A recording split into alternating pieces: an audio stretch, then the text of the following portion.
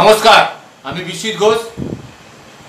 আমরা কদিন ধরেই দেখতে পাচ্ছি আরামবাগ টিভিকে নিয়ে আরামবাগের প্রশাসন এবং তৃণমূলের তাবেদারি যে নেতাগুলো আছে, আরামবাগ টিভির ওপর যেভাবে তাকে হ্যারাসমেন্ট করা হচ্ছে, একটা কথা প্রশাসনকে বলতে চাই, ভারতীয় জনতা পার্টি, আরামবাগ সাংগঠনিক জেলা ও ভারতীয় জনতা যুব মোর্চা এর তীব্র প্রতিবাদ করছে এবং এর সাথে সাথে জানাচ্ছি, আরামবাগ টিভি সত্য প্রকাশ করছে বলে এখানকার তৃণমূলের নেতারা এবং প্রশাসনরা যৌথ উদ্যোগে এই চ্যানেলকে বন্ধ করার চেষ্টা করছে।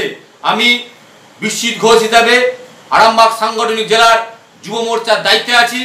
আমরা আরামবাগ যে লোকসভা আছে, যে ছাব্বিশটি, সাতাশটি মণ্ডল আছে, এই মণ্ডলে যুব সমাজ আপনার পাশে আছে, আপনারা চ্যালেঞ্জ চালান।